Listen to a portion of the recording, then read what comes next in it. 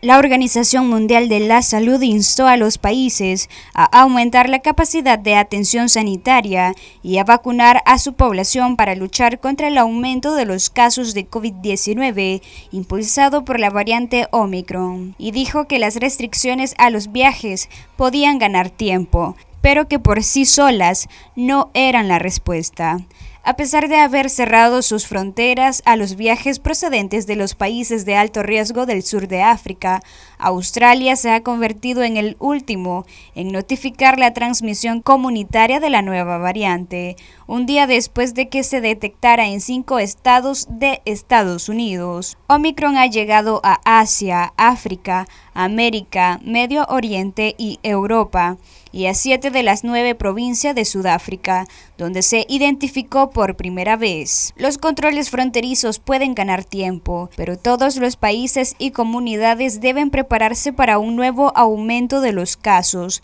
dijo el director de la OMS para el Pacífico Occidental en una reunión informativa. La gente no debe confiar únicamente en las medidas fronterizas, lo más importante es prepararse para estas variantes con alta transmisibilidad potencial. Hasta ahora la información disponible sugiere que no tenemos que cambiar nuestro enfoque, agregó. El funcionario de la OMS instó a los países a vacunar completamente a los grupos vulnerables y a mantener medidas preventivas como el uso de mascarillas y el distanciamiento social. Pese a las nuevas variantes del COVID-19 descubiertas y al llamado que han hecho varias organizaciones, las personas de varios países aún tienen duda de si vacunarse o no, y en otros casos los países de ingresos bajos y medios carecen de vacunas contra el COVID-19.